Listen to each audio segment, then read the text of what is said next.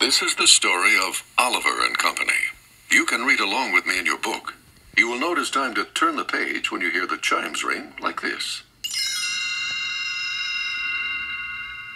Let's begin now. Oliver the kitten sat on a busy street corner in New York City, alone and hungry. Hmm. What's that wonderful smell? Hey, there's a man selling sausages. As Oliver started forward, a dog stepped in his path. Oliver jumped back. Get away from me! Whoa, chill out, man. I don't eat cats.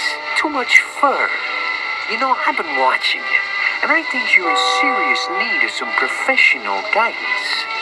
What do you say we team up and get some of those hot dogs? Oliver nodded eagerly. The dog moved in rhythm to a car horn.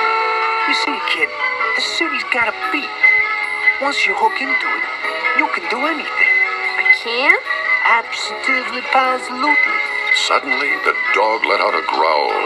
Frightened, Oliver scrambled up the sausage man's chest. In the confusion, the dog grabbed a string of hot dogs and raced off. Oliver called after him. Hey, when do we eat? The dog laughed and kept going. Angry, Oliver followed him. In an old barge across town, a gang of dogs compared what they had found that day. Einstein, a Great Dane, proudly showed a broken tennis racket to a chihuahua.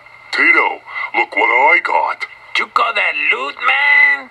Here, check out this designer wallet. A bulldog looked up from his TV set. Ooh, shredded leather. Rita, an Afghan hound, strutted up to the bulldog. So, Francis, you got the food? It was your turn today. Well, no. Francis hung his head sheepishly. Just then the door opened and in sauntered the dog with the sausages. Here you go, gang. Hot dogs a la Dodger. Tito scampered around excitedly. How'd you do it, Dodger? Picture the city, 8th and Broadway, and a Dodger, one cool puppy. And in the opposition, a psychotic monster with sharp claws and dripping fangs. He comes at me, eyes burning. Suddenly, There was a crash, and an object came hurtling through the ceiling. Tito raced around in circles. Gang war! Gang war! Watch out! The object climbed out of a laundry pile where it had landed. It was Oliver. He'd been watching the dogs through a hole in the ceiling. I'm sorry. I just want my sausages. Rita laughed. So, Dodger, this is your monster? Hey, Dodger man! Let's see the big bag kitty fighter in action!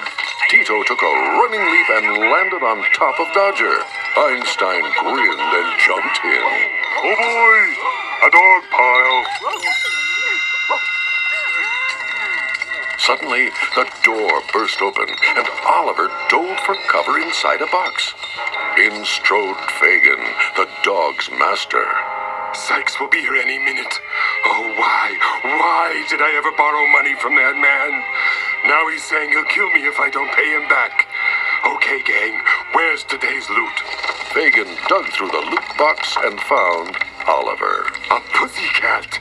I'm supposed to pay Sykes with a pussycat? At that moment, Sykes pulled up in a black limousine with two snarling watchdogs. you have three days to pay me back, Fagin.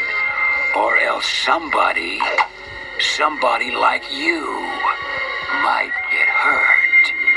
One of the watchdogs noticed Oliver, and his eyes glinted. He lunged, but Oliver swiped his claw across the watchdog's nose. The dog backed away, then left.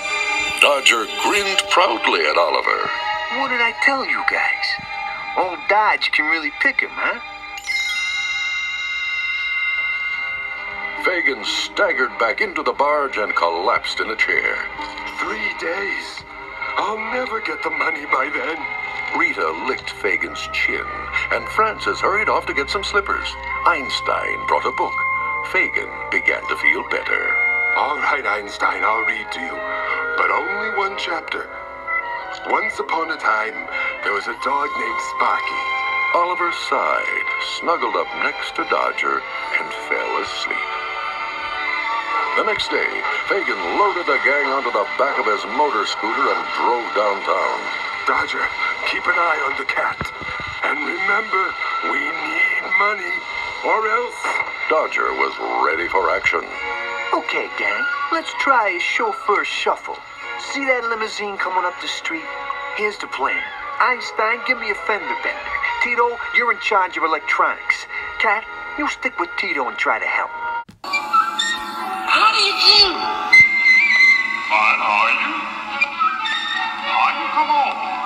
Good, sure as you're born. Stop jumping there, Rabbit. You'll run out of breath. Why don't you sit down and calm yourself? Well, the grasshopper jump. So do the flea.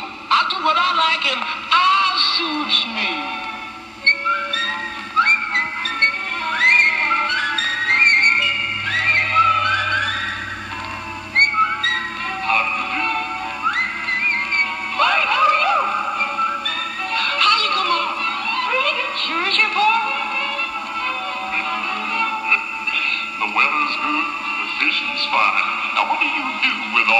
Oh, the six and the zags, I twos and the froze. That's what you ask and that's what you know.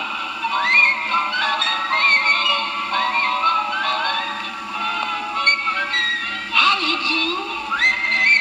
Fine, how are you? How you come on?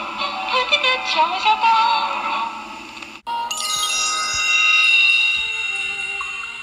Inside the limousine, a little girl named Jenny was reading a letter from her parents. She turned to the chauffeur. Oh, Winston. I don't think they'll make it home for my birthday. As the limousine rounded a corner, Einstein leaped out and banged into its side. The car screeched to a stop, and Winston jumped out. Oh, you poor dog. What have I done to you? Meanwhile, Tito scrambled into the car and began chewing through the radio wires. Come on, kitty. You be the lookout. When Oliver jumped in, he accidentally bumped the key and started the car. Tito fled, but Jenny saw Oliver and picked him up. Poor little kitty. I'm gonna take you home. Winston got back into the limousine and they pulled away. Tito and Dodger followed until the car stopped in front of an elegant mansion. Oh man, Dodger, they got the kid. We gotta bust him out of there. Don't worry, Tito. We will. Absolutely, positively.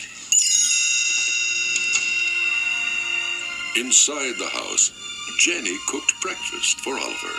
I bet you're starved, huh? Here, you can use Georgette's bowl. She poured the food into a gold dish. When Jenny left to answer the phone, a fluffy lavender poodle sashayed into the room, frowning in disgust. Do you happen to know whose bowl you're eating out of? Oliver gulped. Oh, someone named Georgette? Yes, just like everything else in this house. It's mine. A moment later, Jenny rushed back into the kitchen. Guess what, kitten? My parents say I can keep you. Isn't it wonderful, Georgette? You two are going to be such good friends.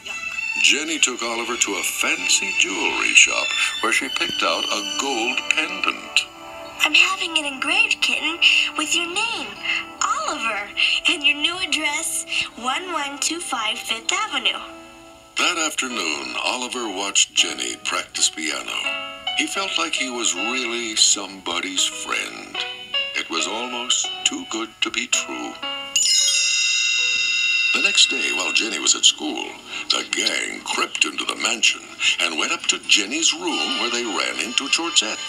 So, you mutts are here to rescue your kitten?